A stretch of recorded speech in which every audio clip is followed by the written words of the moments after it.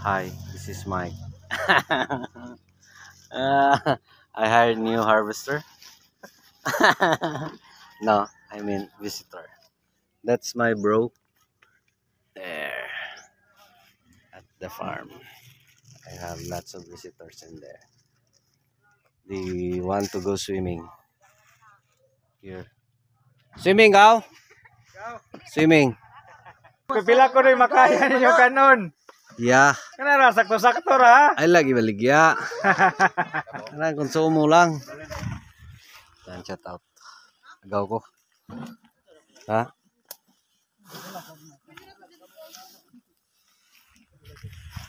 Ita tinugulay tubig ano. Na guys, dami tayong bisita. Yan o. From Michigan. Shout out Mike. Yan, shout out Agaw RR. Ano to guys? Ah, Bureau of Fire Protection. Magdala siya ng tubig dito sa atin. Yan, shout out Agaw Tatsuki. Tiban. Yan. Ah, yan, mga bisita natin. Yay. Ah, harvest. Oh, sudli na. Una na ha, bantay dili punon. Kana dako oh, na nakita ba. Paon siguro na. Kani pwede rin ni. So yun, maayo luton gaw kaning dili pa kaya. Dito kito kanya wala ko eh. Ah, Bitay.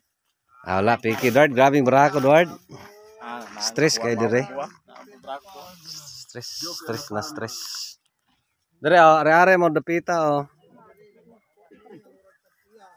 Ay kay gugod gid imong gikuan gaw dugay. To, to, to, to, to, to.